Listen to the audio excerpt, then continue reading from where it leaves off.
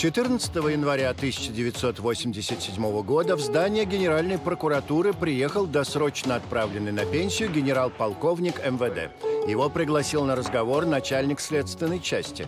Едва мужчина зашел в кабинет главного следователя Советского Союза Германа Каракозова, как ему объявили «Вы арестованы». Сказали, пишите э, явку с повинной. Это был громкий под стать происходящим в стране изменениям судебный процесс. На скамье подсудимых Юрий Чурбанов. А Чурбанов – это вот который женился на Гале Брежнева, это который зять, так ему и надо. Как рядовой милиционер оказался на вершине власти? Не подстроено ли это? Ну, специально, чтобы познакомить, там, поженить и так далее. Почему некогда один из влиятельнейших людей в СССР угодил за решетку? Галя практически продала всю его форму, приехала даже мне во что было одеться. Что это было на самом деле? Справедливое возмездие или чья-то месть?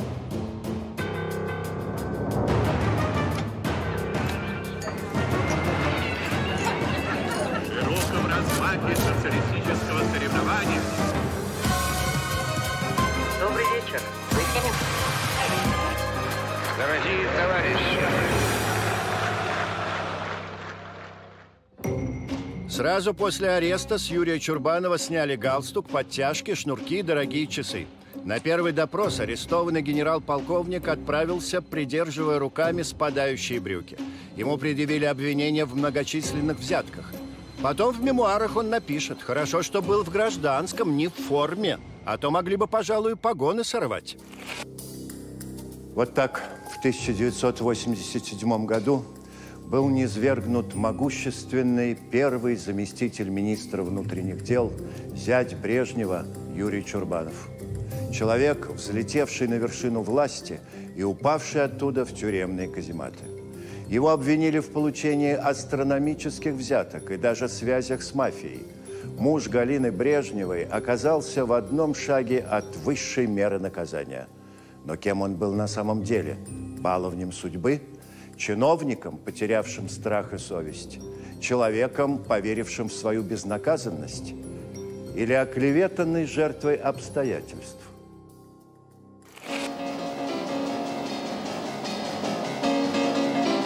1987 год. Расцвет перестройки. Наконец-то вроде как эпоха застоя закончилась, и вот мы все понимали, что что-то надо делать. Ну вот, наконец-то, сейчас, молодой. Вашингтон, 8 декабря 1987 года. Михаил Горбачев и Рональд Рейган подписывают в Вашингтоне договор о ликвидации ракет средней и меньшей дальности. Не допустить войны, особенно ядер. Не допустить.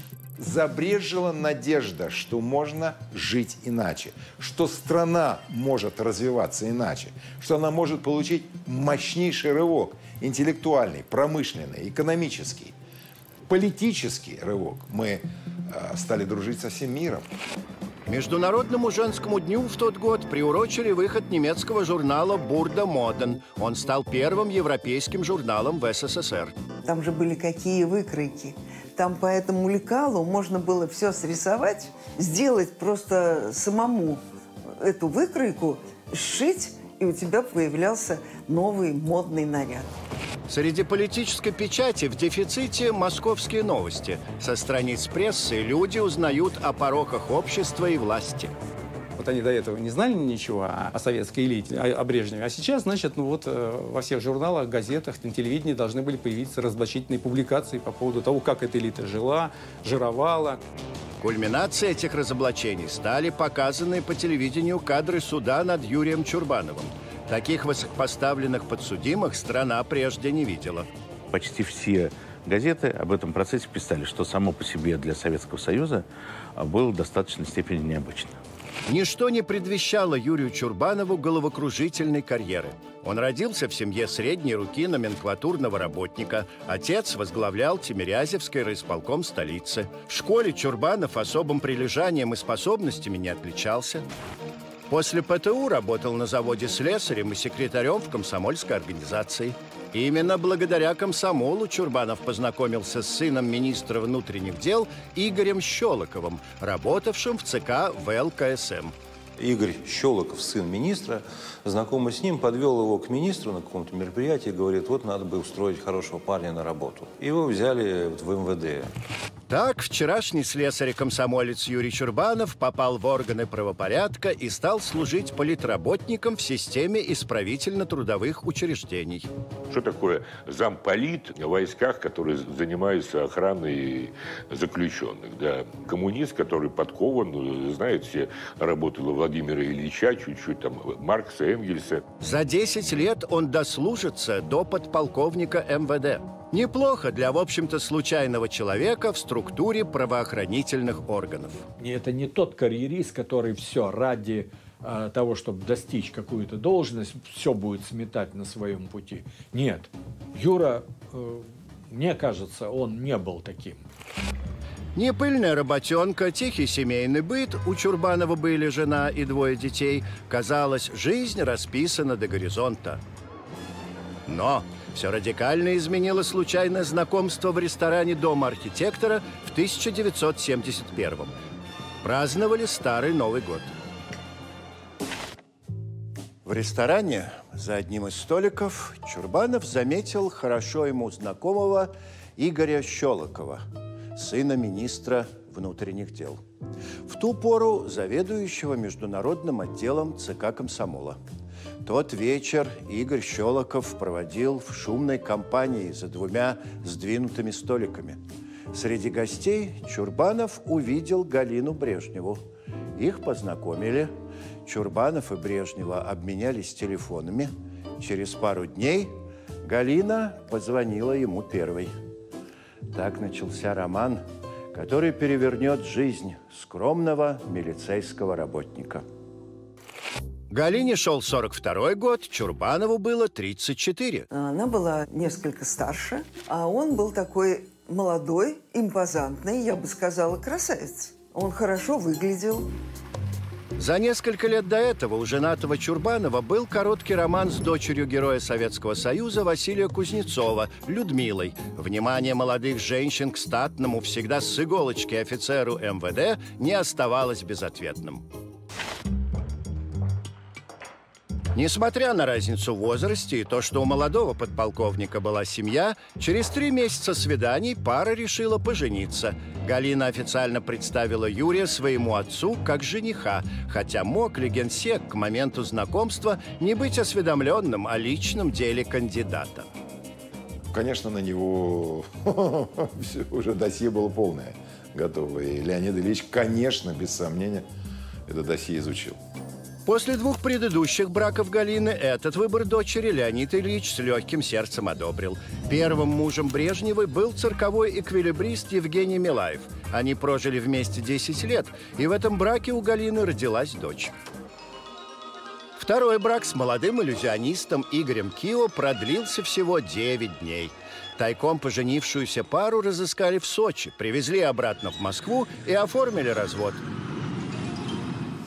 руководил поиском и возвращением дочери-беглянки в столицу по просьбе Леонида Ильича председатель КГБ Семичастный. Неудивительно, что после этих и других амурных приключений дочери Брежнев увидел в офицере МВД Чурбанове надежду на то, что Галина, наконец, остепенится. Я потом так в шутку допытывался, не подстроено ли это, ну, специально, чтобы познакомить, там, поженить и так далее. Мне клялись люди, которые участвовали в этой встрече. Нет, это все случайно произошло. Семейное положение будущего зятя не смутило Леонида Ильича. Расставшись с прежней супругой, Чурбанов женился на Галине. Вступают в брак граждане Союза Советских Социалистических Республик.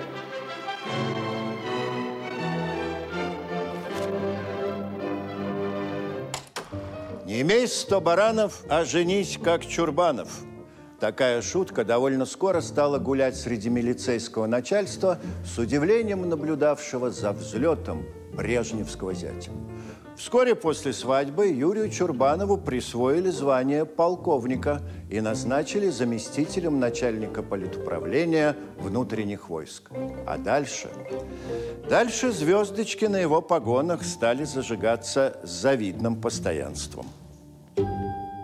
Чурбанов и Брежнев, можно сказать, подружились. У них нашлись общие интересы. Оба с детства были голубятниками. Брежнев увлечения не оставил, на его даче стояла голубятня. Когда Юрий Михайлович вошел в эту семью, появилась вторая голубятня. Он тоже завел голубей. Вот тоже вот они вместе, как говорится, вот и ходили друг к другу там, когда гуляли. Вот то к одной подойдут, то к другой голубятне подойдут. Заместитель начальника политуправления внутренних войск Юрий Михайлович Чурбанов через три года после свадьбы пересел в кресло своего шефа. Еще через год Брежнев сделал его заместителем министра внутренних дел. Ему позвонил Брежнев и сказал, тебя назначают замминистра МВД. Тот говорит, да как так? А как к этому отнесутся Щелоков, например? Он говорит, так Щелоков якобы тебя и рекомендовал. Вот так вопрос был закрыт. Став заместителем Щелокова по кадровым вопросам, Чурбанов особо не церемонился с теми, кто в руководстве МВД по каким-либо причинам ему не нравился. Да, чванный, барственный, иногда грубый, неулыбчивый. Да, это все за ним было. Заносчивость кремлевского принца на себе сполна испытал генерал-лейтенант Сергей Крылов, начальник штаба аналитической работы МВД, в котором занимались исследованиями преступного мира и разработкой новых методов борьбы с ним. Чурбанов считал, что Крылов находится в плену каких-то неизбыточных для органов внутренних дел фантазий. Неугодного генерала убрали из министерства и сделали начальником Академии МВД. Но и после этого Юрий Чурбанов регулярно вызывал Крылова на ковер и в весьма грубой форме отчитывал за самоуправство, кадровую чехарду, неуважение к подчиненным. В конце концов, взять Брежнева инициировал в Академии проверку. Крылова обвинили в том, что он якобы забрал из учебного заведения в служебную квартиру два цветных телевизора и мебельный гарнитур – Амбициозный и оскорбленный Крылов 19 апреля 1979 года застрелился в собственном кабинете. Перед смертью Сергей Михайлович Крылов напишет записку. «Нет сил жить. Как я работал, как горел, как боролся. И чем благороднее была цель, чем вдохновеннее труд – тем больше ненависть власть имущих. Я оплодотворил своим талантом и фантастическим трудом интеллектуальную пустыню органов внутренних дел. И за все это я плачу жизнью. Это мир рабов, халуев и карьеристов. Мало у кого были сомнения, что под карьеристами застрелившийся генерал-лейтенант имел в виду в первую очередь Юрия Чурбанова. Конечно, Чурбанов потом отрицал, что он э, жил со света вот этого Крылова. Вот. Но фактически оно так и получилось. Вот тот пример, когда Чурбанов э, вел себя некомпетентно э, и занимался вообще не своим делом. Всего через 8 месяцев в руководстве МВД еще одно самоубийство – сухом некрологе известий напишут. В ночь на 29 декабря скоропостижно скончался первый заместитель министра внутренних дел Виктор Попутин. За этими нейтральными формулировками выстрел в голову. Ходили слухи, будто генерал-лейтенанта очень беспокоило, что на его место метит Чурбанов. Но внук генерала, внимательно изучавший обстоятельства его гибели, это опровергает. По его мнению, причины, скорее всего, следует искать в командировке Виктора Попутина в Афганистан. Попутину была поручена важная политическая миссия, о деталях которой до сих пор известно немного. Можно предполагать, что он должен был каким-то образом определить, как это негромко звучит, дальнейшую политику Советского Союза в отношении Афганистана. Осенью 1979 года в Кабуле происходят драматические события. Свергнут и убит Нур Мохаммад Тараки. Всего за несколько месяцев до смерти Тараки встречался с Брежневым. Тот предупреждал его о готовящемся заговоре со стороны премьер-министра Амина. Для руководства СССР стало шоком, что, несмотря на предостережения, сценарий все-таки реализовался – Афганистан имел стратегическое значение. Эта страна – своего рода ворота в Индию, Иран, Китай и Среднюю Азию. В Политбюро шли жаркие споры. На кого теперь делать ставку? Поддержать получившего власть Амина? Или вмешаться в ситуацию и привести на его место другого афганского политика – Бабрака Кармаля. Папутин после командировки в Афганистан доложил о своем видении ситуации. Стратегия, может, которую он предложил, она не совпала с мнением Политбюро, скажем так. Или совпала частично, или действительно КГБ просто опередил его предложил свою, свой вариант развития событий, который был принят и по которому уже начались фактически какие-то действия. КГБ подозревал Амина в связях с ЦРУ. В Политбюро опасались, что в стране могут появиться базы НАТО.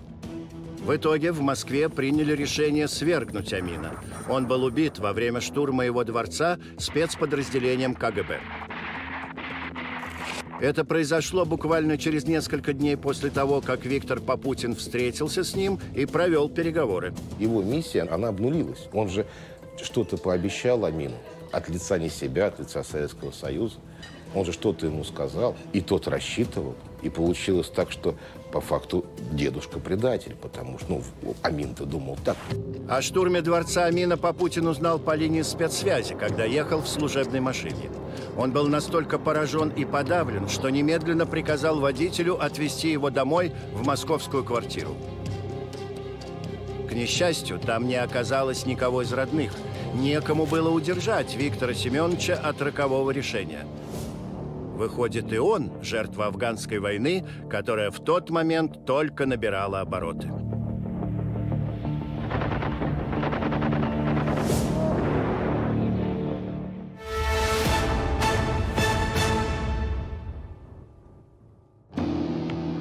Место Попутина в МВД досталось зятю Брежнева, и он с полной самоотдачей погрузился в работу. Следующей логичной ступенькой в карьерной лестнице виделось министерское кресло. Это понимал и Николай Щелоков. Главным ресурсом в противостоянии с наступающим на пятки Чурбановым у министра была давняя дружба с Леонидом Ильичем. Они семьями дружили, их родственники дружили. Известно, что Брежнев, например, подарил э, сыну Щелокову на 30-летие «Мерседес». Николай Щелоков на посту министра внутренних дел сумел существенно поднять профессионализм и престиж милиции, заметно подорванные в годы Хрущева. С его подачи был снят популярнейший в те годы сериал «Следствие ведут знатоки». Наша служба и опасна, и трудна, Зрители полюбили это кино, хотя, разумеется, понимали, созданные на экране образы милиционеров далеки от реальных.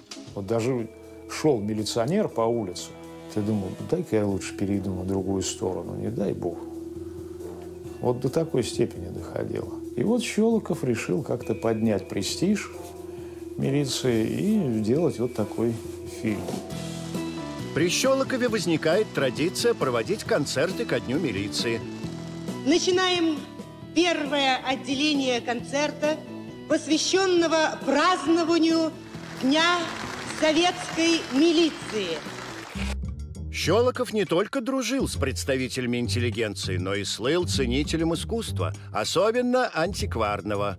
Николай Анисимович питал слабость картинам, скульптурам, старинной мебели и стал постепенно превращать в музей собственную квартиру, якобы полуофициально выкупая ценности, конфискованные у форцовщиков и спекулянтов.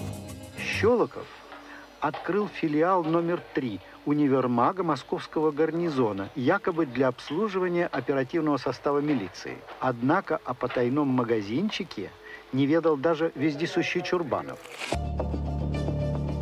В какой-то момент пристрастие Щелокова к антиквариату и прочему, как говорили в те годы, вещизму, станет даже предметом разговора Юрия Чурбанова с шефом КГБ Юрием Андроповым. Мол, надо спасать товарища министра, ставшего на скользкий путь. Андропов и без Чурбанова знал об антикварных увлечениях Щелокова, но не давал ход делу, как он объяснял зятю Брежнева, чтобы не расстраивать Леонида Ильича. Но в чем была истинная причина этой беседы? Бескорыстная забота о чистоте мундира или попытка Юрия Чурбанова устранить Щелокова руками председателя КГБ – и самому стать министром. О противостоянии двух силовых ведомств МВД и КГБ ходили легенды. До поры до времени конфликт оставался, что называется, под ковром, но даже рядовые сотрудники прекрасно знали о вражде Щелокова и Андропова. Было соревнование между этими ведомствами, кто ближе Леониду Ильичу. Ближе был Щелоков, а возможностей друг на друга накапать было больше у Андропова. Но неужели Чурбанов, второй человек в советской милиции, вел свою игру и интриговал против своего начальника и своего министерства? Некоторые историки утверждают, что у зятя генсека сложились особые доверительные отношения с шефом КГБ. Андропов собирался Щелокова снять, убрать, а Чурбанова поставить на его место. Возглавить тот орган, который всегда соперничал с комитетом. В то время как карьера Чурбанова уверенно шла вверх, личная жизнь с Галиной Брежневой катилась под откос. Несколько лет они являли собой счастливую семью. Мы с мамой любили ходить в Большой театр. Ну вот я как-то помню, однажды задерживалась очень сильно начало спектакля, и никто не мог никак понять, почему почему-то 5-10 минут уже шум в зале. И потом такой вот прошелся по портеру такой ветерок, шелест. И все головы повернулись к входу. Вошла Галина Леонидовна вместе со своим супругом Юрием Михайловичем Чурбановым. Они немножко припозднились. Ну, может быть, в буфете посидели. Поэтому спектакль задерживался, их все ждали. Однако за внешним благополучием украшенного медалями Чурбанова и бриллиантами Брежневой скрывались два разочаровавшихся человека. Давала о себе знать разница в возрасте, и основа этого брака, в котором изначально любви было меньше, чем расчета. Супруги охладели друг другу и потеряли всякое уважение. Начались взаимные измены. Ругались, дрались, пили вместе и поодиночке. Я был свидетелем, когда э, господин Чурбанов Галю Брежневу в Лыскуты вынимал из ресторана «Дом кино» с Васильевской улицы. Чурбанов тоже не отставал и порой пил до такого состояния, что однажды упал, заснул на холоде и обморозил ноги. Почему, говорят, Юра стал больше пить? Может быть, отчасти и вот это вот ощущение, что Леонид Ильич все-таки не вечен – и что немного ему осталось. А что же дальше?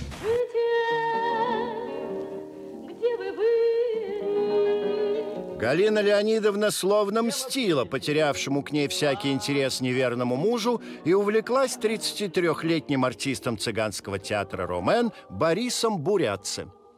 И он часто бывал э, с Галиной в этом ресторане Дома актера. Это было ее как бы любимое место. Она вообще очень женщина была богемная.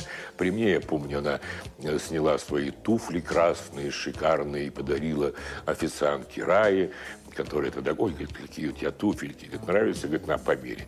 Дает, потом кладет их на стол, говорит, дарю, и босиком ушла. Вот. Роман Брежнева и Бурятцы не был секретом не только для столичной богемы, но даже для столичного ГАИ. Чем негласный фаворит Галины Леонидовны беззастенчиво пользовался.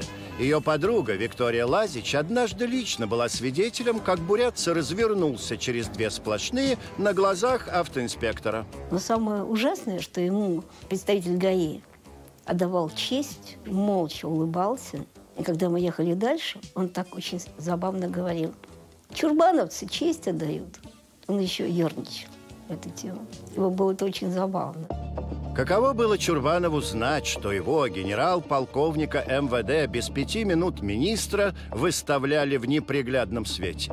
И, как мне рассказывали, он даже к Леониду Ильичу пришел, а, дескать, вот что делать. Леонид Ильич сказал, ты мужик, ты должен решать и наводить порядок в своей семье. Молва приписывала Брежневой не просто интрижку с Борисом Бурятце. Поговаривали, что дочь генерального секретаря на пару с ним занимается спекуляцией ювелирными украшениями и даже связана с бриллиантовой мафией. В начале 80-х в Москве произошла серия резонансных ограблений. Из квартир вдовы писателя Алексея Толстого, дрессировщицы Ирины Бугримовой и актрисы Зои Федоровой были похищены редкие и баснословно дорогие ювелирные украшения. Федорову во время ограбления застрелили.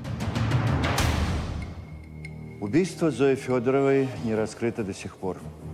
За ограбление вдовы Толстого посадили группу одесских контрабандистов – а вот кража в доме Бугримовой дала повод, наконец, задержать Бориса, как его называли, Бриллиантыча, Бурятца. Его имя назвал курьер, пытавшийся вывести драгоценности из страны. И тут уж Чурбанов сделал все, чтобы любовник его жены оказался за решеткой. Правда, доказать причастность бурятца к ограблению не смогли. Его посадили на 7 лет за спекуляцию дубленками. Расставание со своим фаворитом, случившееся при непосредственном участии Чурбанова, Галина Леонидовна пережила тяжело. Стала искать утешение там, где было проще всего. В еще более шумных гулянках и еще большем количестве алкоголя. Ой, как она пила. Она же пила невероятно. Ее видеть пьяной было невозможно. Она орала песни, там, вот это, могла сорвать скатерть. Это что-то было за грань. Юрий Михайлович тоже не смог не поддаться многочисленным искушениям, окружавшим зятя Брежнева. «Мерседес», подаренный тестем, был безделушкой на фоне открывшихся перспектив. Заискивания и подобострастия было больше, чем достаточно. И даже какой-то боязнь. Каждая служебная командировка Чурбанова в союзной республике сопровождалась многочисленными подношениями. Когда приезжаешь в восточные республики, обязательно начинаются подарки. Причем они действовали очень хитро, местная власть. Они предупреждали, Юрий Михайлович, понимаете, у нас вековая традиция. Это будет, может быть, ну все, незабываемая обида до конца жизни у человека, если вы откажетесь. И приходилось принимать. Он понимал, что на грани, на грани. Чурбанов не ошибался. Довольно скоро ему припомнят эти подношения. Прощание с Брежневым оказалось и прощанием с прошлым образом жизни для всех членов его семьи. Чурбанов не был исключением. Наоборот, он, как никто другой, будет вынужден сполна за все расплатиться.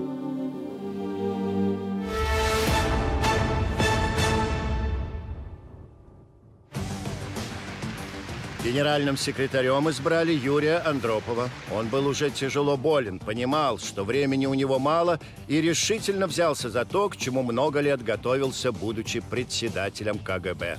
Чистки, погрязшей в воровстве, кумовстве и коррупции номенклатуры. Андропов э, сосредоточил в своих руках огромный массив информации о всех членах Политбюро, кандидатах в члены Политбюро, ну, в общем, практически о всей верхушке. На каждого была папочка. За 15 месяцев Андропов сменил 18 союзных министров, 37 первых секретарей обкомов партий. Но первой жертвой Андропова стал его давний соперник Николай Щелоков. И двух недель не прошло, как новый генсек отправил главного милиционера в отставку. Формальным поводом увольнения стали многочисленные злоупотребления в министерстве, которые вскрылись во время расследования убийства на Ждановской. Вечером 26 декабря 1980 года линейный наряд милиции на конечной станции метро Ждановская, сейчас это станция Выхина, обнаружил в вагоне заснувшего подвыпившего мужчину Вячеслава Афанасьева. При себе у него в портфеле были водка, коньяк, несколько банок, консервов и копченая колбаса. Очевидно, из продуктового набора, который тогда выдавали к празднику. Позарившись на дефицит, милиционеры, которые тоже оказались нетрезвыми, доставили мужчину в отделение.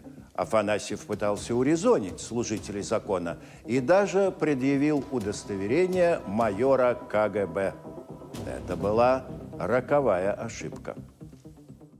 Сотрудникам милиции категорически запрещалось задерживать комитетчиков, как называли работников КГБ. А уж избиение чекиста грозило колоссальными неприятностями. Милиционеры сначала отпустили Афанасьева, потом перепугались, догнали, снова задержали, забили его насмерть, а тело вывезли на служебной «Волге» и выбросили в окрестностях подмосковного поселка Пехорка. И это как бы за основу было взято, что Щелоков, имея большой авторитет, распустил милицию, и они вот позволяют себе такие вещи. Четырех причастных к убийству майора КГБ Афанасьева милиционеров приговорили к расстрелу. А само дело стало для Комитета госбезопасности поводом начать масштабную кампанию по расследованию преступлений, совершенных московской милицией. Ну и поскольку, поскольку Брежнев ушел, Андропов стал генеральным секретарем, естественно, КГБ пожрало МВД. А пожирать надо было с головы. После смерти Брежнева защищать Щелокова стало некому. Он не просто был отправлен в отставку. Бывшему министру припомнили и прежний роскошный образ жизни, который он вел. Его супруга вместе с дочерью Брежнева Галиной якобы участвовала в махинациях с бриллиантами. На волне антикоррупционной борьбы власти могли потянуть и за эту ниточку. Светлана Щелокова покончила с собой. Николая Анисимовича вывели из состава ЦК, лишили звания генерала и государственных наград. Когда Николай Анисимович э, получил звонок о том, что он э, должен и медали свои отдать, он взял, сказал, приезжайте за наградами. Одел китель, написал посмертные записки и застрелился из ружья, как мужчина. Неприглядные факты о положении дел в милиции, казалось, должны были бросить тень и на Юрия Чурбанова. Но удивительным образом его никак не задела эта история.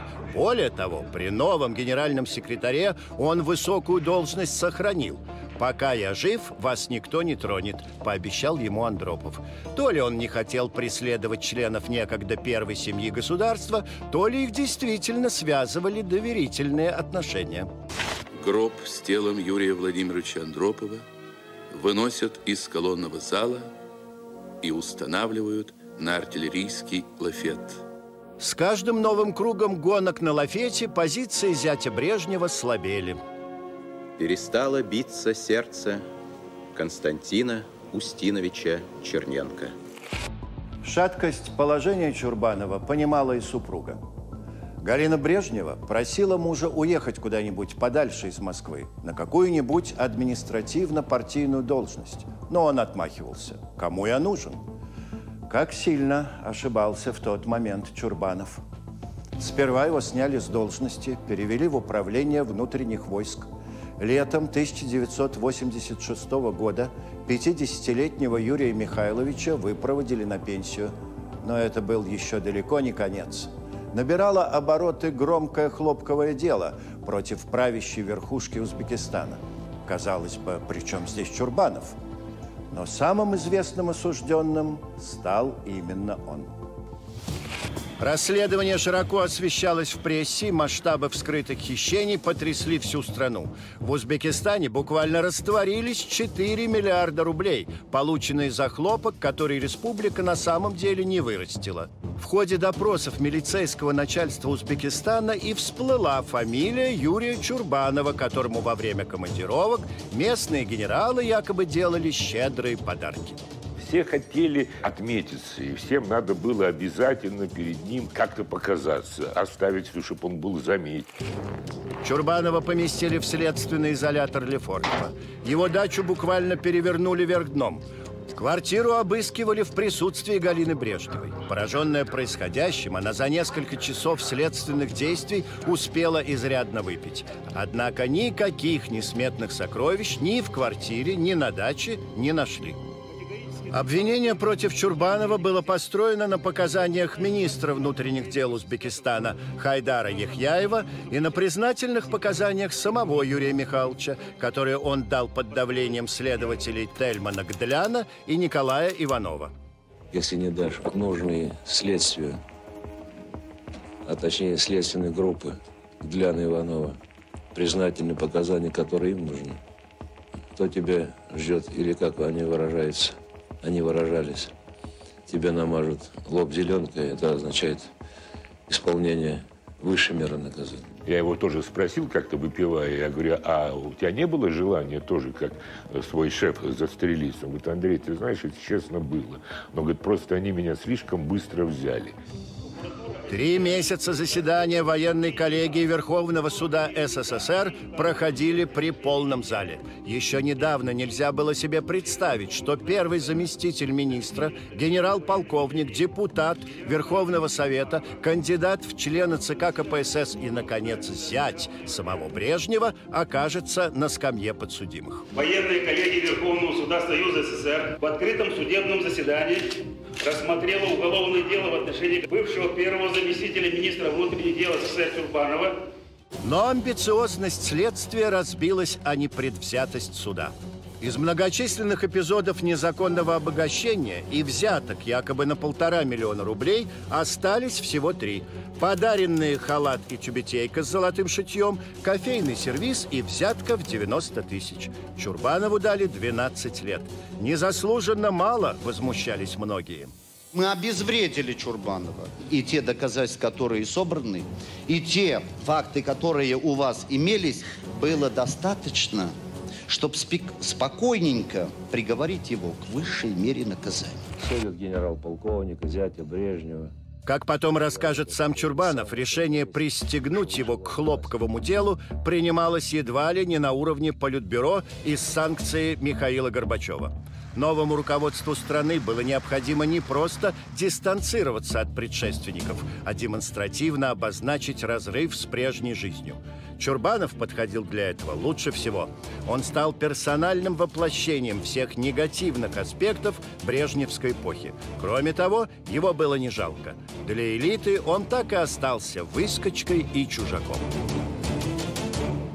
была попытка развенчать целую эпоху, и он очень идеально подходил в качестве демонстрации всех негативных процессов, которые, как считалось, происходили при покойном тогда уже Брежневе.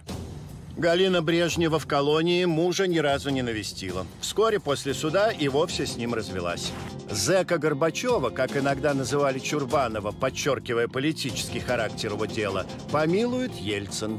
Я этим делом занимался. Э, говорил Борис Николаевичем Ельцин.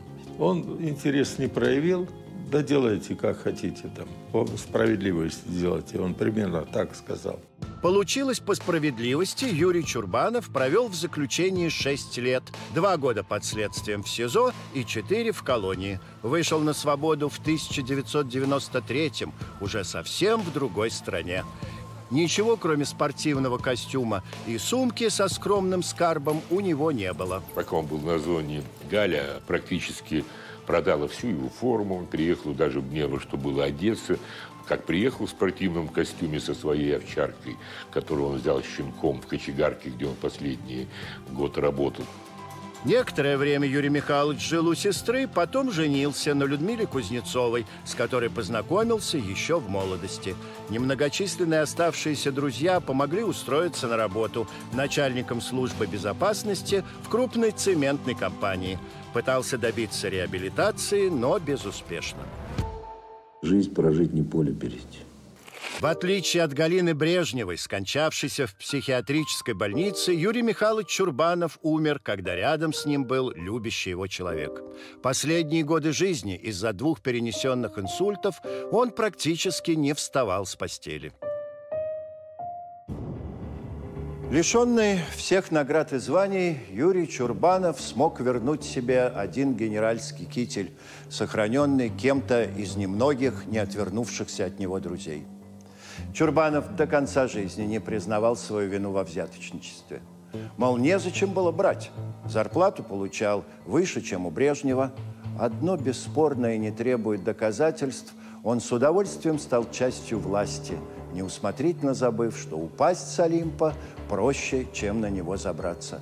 И что вчерашние всемогущие фамилии и высокие звания могут в одночасье превратиться в прах – под кремлевских курантов, знаменующих начало новой эпохи.